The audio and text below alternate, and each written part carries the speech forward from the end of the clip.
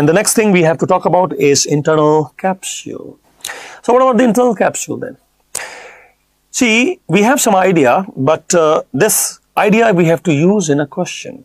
What do you think is the answer? This is asking for relations of internal capsule, some projection fiber, dividing corpus striatum into laterally lentiform, medially caudate. What is your answer? Okay, if you say this is the answer, can you tell me one thing? What is between the thalamus and the lentiform? That was which limb of the internal capsule? The posterior limb. And where is the anterior limb sandwiched between? It is between the caudate and the lentiform. So this is the orientation which you already have, but keep the answer and then you have to talk more about the internal capsule as you're doing. This is internal capsule you have seen already. There is one anterior limb which is sandwiched between. Caudate more medially and then you were having the lentiform laterally. And thalamus is actually more medial. And this is the diagram. So this is superior view of the brain on the right side of brain. Yes. Superior view of the brain and right side of the brain showing anterior limb, posterior limb and the bend called genu. And then you will see this is the lentiform nucleus which is lateral to the internal capsule and head of the caudate nucleus is medial and also the thalamus is medial. As you say so, you will find that this is corticonuclear tract which is passing through the genu of the internal capsule is a part of the pyramidal system and moving the face muscles like the eye muscles. You remember we were uh, putting a thread into needle? To put thread into needle, you have to look at the eye of the needle and you move your eyes using corticonuclear tract. And corticonuclear tract is passing through the genu of the internal capsule. You mean to say corticonuclear tract control the head muscles like the eye muscles and the fibers are pyramidal system passing through the genu? Yes. And what about the finger muscles? Because I have to move fingers now to put the thread. That is corticospinal tract, part of the pyramidal system. And where is corticospinal tract passing? That is passing through posterior limb of internal capsule. Can you see one thing here? The human body being represented in anterior posterior direction. The head is more anterior and upper limb, lower limb, like that. So the fibers of the head are passing through the genu, whereas the upper limb or the lower limb fibers are passing through the posterior limb of internal capsule. See, this is corticospinal tract, which is controlling the upper limb and the trunk region and the lower limb fibers. They are in the posterior limb of internal capsule, whereas the head fibers were in the genu. That representation we have to draw ourselves as well. So putting a thread into needle, first thing is I have to move my eyes because I have to look at the needle. You know, the eye of the needle. So corticonuclear tract, yes. And then corticospinal tract. This is corticospinal tract. Total, two things are pyramidal system. Corticonuclear tract is for moving the eye in the genu. Corticospinal tract is in the posterior limb of internal capsule to move the fingers. And what will happen if I have a lesion on the right side of the brain? If you have a lesion on the right side of the brain of the internal capsule, there will be problems on the left side of the body involving involving the head and the body if the genu and posterior limb is involved and what if only genu is involved, there can be a problem, only posterior limb involved. If only posterior limb is involved, then the problem will be restricted to upper limb, trunk and the lower limb. Face area spared. That came as a question also. Face area will be spared. And what if the genu is involved? Then the body is spared. Because if there is a ischemia in the genu of internal capsule, sensory motor loss will be on the opposite side of the face. So ischemia in the genu of internal capsule, sensory motor loss on the opposite side of the face. Yes. Not the body. No. Corticonuclear tract is compromised, you know. Face muscles, sensation will be compromised. So keep that idea. Now we will talk about metathalamus. Metathalamus is two geniculate bodies and the two geniculate bodies are medial geniculate body and lateral geniculate body. The medial geniculate body is for music pathway that is auditory pathway and the lateral geniculate body is for light pathway which is the visual pathway. Let us look at the music pathway first. So when you're talking about the music pathway, the medial geniculate body for music pathway, auditory pathway, you see it is uh, some fibers passing through internal capsule. Now, which part of internal capsule it is passing through? Actually, these are fibers going to reach the Heschl gyrus. What is Heschl gyrus? Heschl gyrus, superior temporal gyrus, area number 41, 42. So, you are telling that this auditory pathway is going to reach the Heschl gyrus, which is the superior temporal gyrus, area number 41, 42? Yes.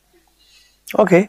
And which part of internal capsule you are using? This is called as sublentiform fibers of internal capsule. Why would you say sublentiform? Because they are passing under the lentiform nucleus. So these fibers are passing under lentiform nucleus. That is why sublentiform fibers. Yes, sublentiform fibers of internal capsule come in the auditory pathway. It is the posterior part of internal capsule. So they are using the posterior part of internal capsule. Yes. And what about the visual pathway? That is the light pathway, lateral geniculate body and going towards the occipital visual cortex.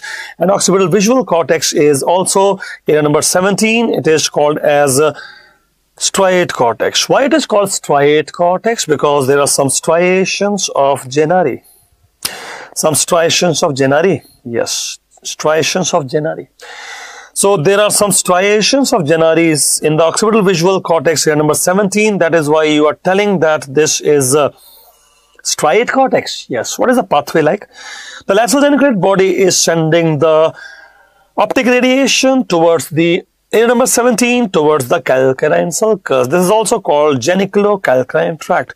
Why will you say the optic radiation is geniculocalcarine tract? Because coming from the lateral geniculate body and going to the calcarine sulcus, geniculocalcarine tract, the optic radiation, and is passing behind the lentiform nucleus. And because this pathway is passing behind lentiform nucleus, it is using some part of the internal capsule.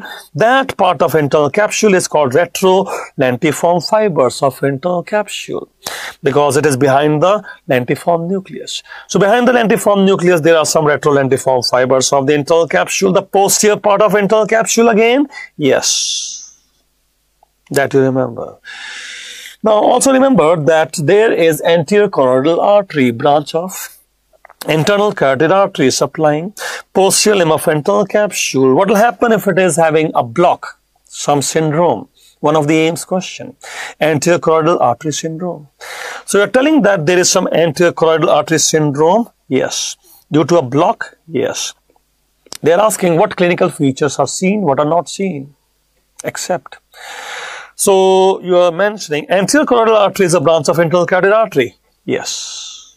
And it supplies the posterior limb of internal capsule. Then I'll tell you the clinical features. There will be some uh, visual problem. Can you tell me which visual problem? Homonymous hemianopia. Homonymous hemianopia. So you are telling some ischemia here. So there is some visual pathway involved leading to some homonymous hemianopia. Yes. And what else? There are some auditory problems. There are some sensory motor problem. Where is the sensory motor problem? The face. No, not the face. Why not the face? Because this is uh, sensory motor loss on the upper limb and the trunk and the lower limb, not the face. Why not the face? Because the genu part of internal capsule has a separate artery supply. What is that separate artery supply? Actually, it is supplied by a direct branch of internal carotid artery direct branch of internal carotid artery. So there is a direct branch of internal carotid artery supplying the genu of the internal capsule. Yes. So corticonuclear tract is still working. Yes.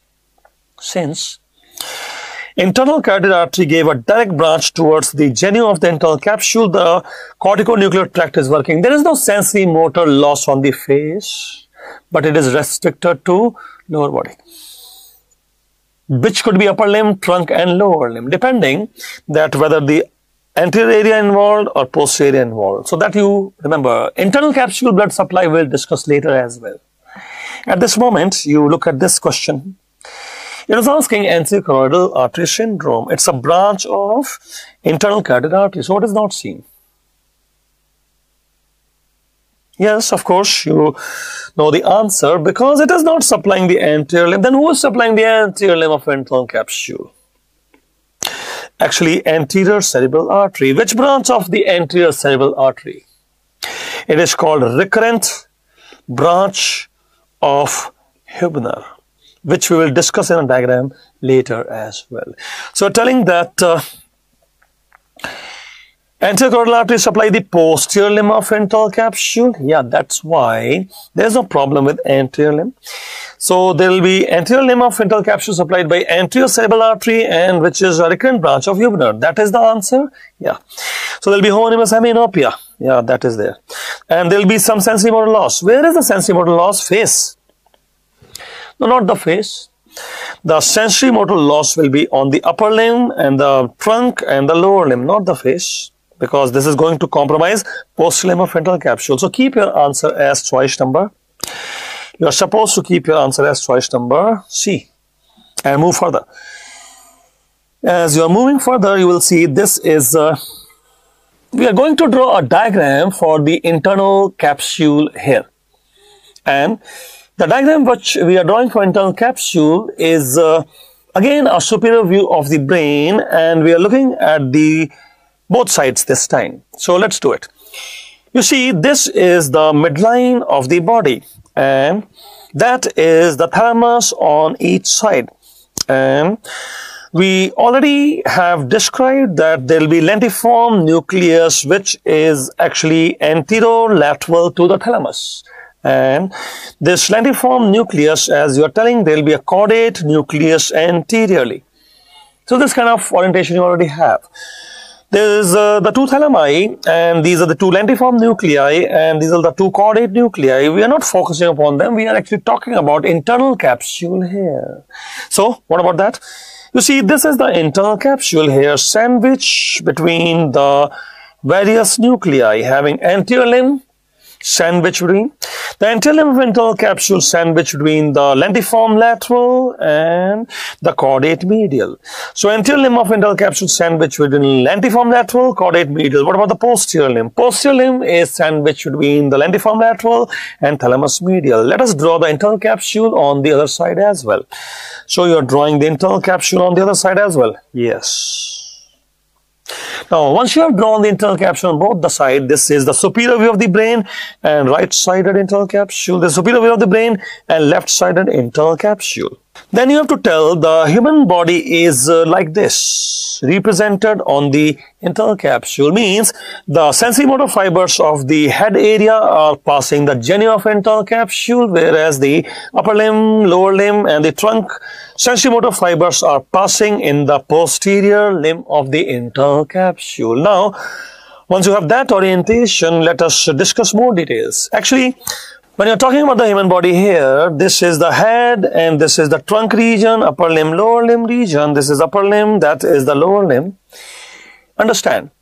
If I want to move the muscles, then I require pyramidal system. And pyramidal system has two component corticonuclear tract and corticospinal tract. If i want to move the eye muscle corticonuclear tract. And if i want to move the finger muscles then corticospinal tract. So understand. Pyramidal system has two component. One is called corticonuclear tract which will help me to move my eye muscles to look at the eye of the needle. And if I want to move my finger to put the thread into that, I need corticospinal tract to move the upper limb. Together, this is pyramidal system. Let us represent that in the internal capsule, the fibers. And this is the bend called genu. Now, when you say this is the bend which is called genu, that is where you will have corticonuclear tract. But remember that uh, corticonuclear tract which is passing to the genu, the motor fibers are passing more lateral. So motor fibers are passing more lateral means corticonuclear tract will be passing more lateral. Yes. Then we'll be passing more medial, the sensory fibers. And who will be carrying the sensory fiber from the face? That we will discuss. But here it is motor fibers which are passing more lateral. So what about the corticospinal tract? It is also here more lateral. Now you're telling that it is also lateral corticospinal tract. Yes. You're telling that if I want to move my eyeball muscle, corticonuclear tract fibers are passing in the genu but more laterally. Yes. And if I want to move my fingers, then I have to use corticospinal tract fibers which are passing more laterally but in the posterior limb of internal capsule. Yes, posterior limb. And what if I touch the face? If you touch the face, then uh, trigeminal fibers are activated. This is sensory components now. So when you're talking about the sensory components, you will touch the face, trigeminal fibers are activated. Where do you think the trigeminal fibers pathway will be passing? Genu. Which part of the genu? Here, now you can show. Let me show it in blue color. So blue color, some dots. Yes, blue color, some dots. Because uh, that blue colors and dots is trigeminal pathway. So you're telling that you are touching the face now. Yes. Which pathway activated? Trigeminal pathway. And where is the trigeminal pathway passing? The genu, but more medially. If you say trigeminal pathway is passing the genu but more medially, what if I touch the upper limb, lower limb? If you touch the upper limb, lower limb, yes, touch the upper limb, lower limb. If you are touching the upper limb, lower limb, you will activate two tracts. What are the two tracts activated? One is the dorsal column spinal cord, the other is spinothalamic tract. So when you touch the upper limb or when you touch the lower limb, you will see that two tracts are activated, name dorsal column of spinal cord and spinothalamic tract. So dorsal column and spinothalamic tract, where the fibers passing? Obviously, in the posterior limb of internal capsule, but more, more medially. Remember, sensory fibers are more medial. The point is dorsal column pathway and spinal tract pathway, which carry touch sensation of the upper limb, lower limb trunk region, will be running more medially. What is the use of knowing all that? Use of knowing all that is simple. If you have ischemia in the genu, where is the sensory motor loss? On the face. And what if you have ischemia in the posterior limb? Where is the sensory motor loss? On the upper limb, lower limb. And what if the ischemia is more lateral?